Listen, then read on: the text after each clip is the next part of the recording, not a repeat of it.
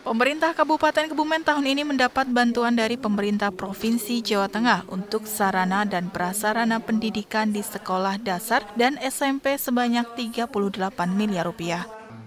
Hal tersebut disampaikan Bupati Kebumen Arif Sugianto saat silaturahmi halal bihalal keluarga besar Tutwuri Handayani Kecamatan Poncowarno di gedung PKG Kecamatan Poncowarno Sabtu 27 April 2024.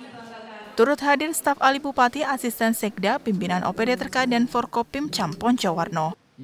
Bupati mengatakan bantuan tersebut diperuntukkan bagi sekolah-sekolah yang masih kurang sarprasnya.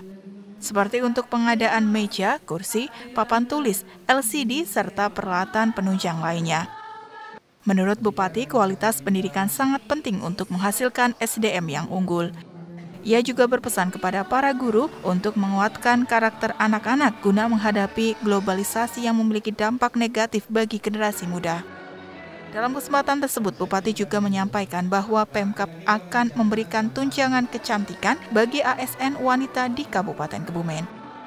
Dari Poncowarno, Tim Liputan Kebumen TV memberitakan.